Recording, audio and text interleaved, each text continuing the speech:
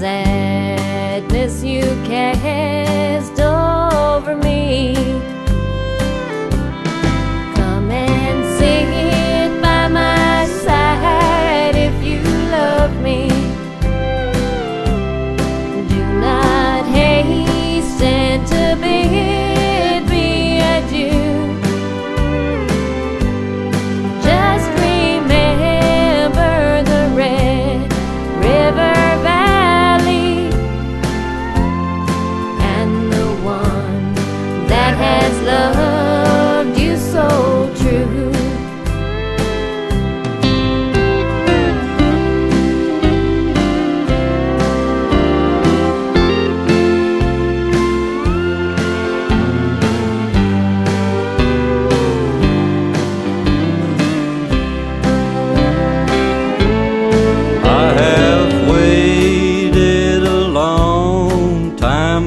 darling,